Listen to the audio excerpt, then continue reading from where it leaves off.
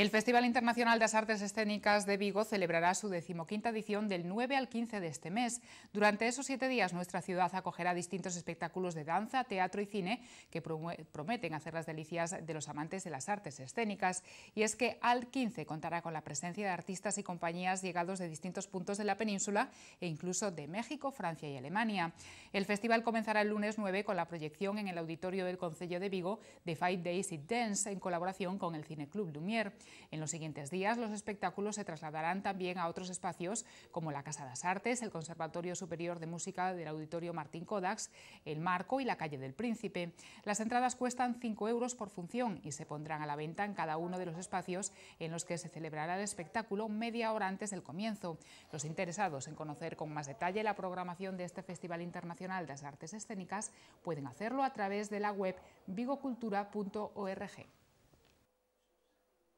carácter multidimensional que tiene Alta, que es algo que yo quería recalcar, no cabe duda que le da un matiz original y de una concepción totalmente original a lo que es este festival.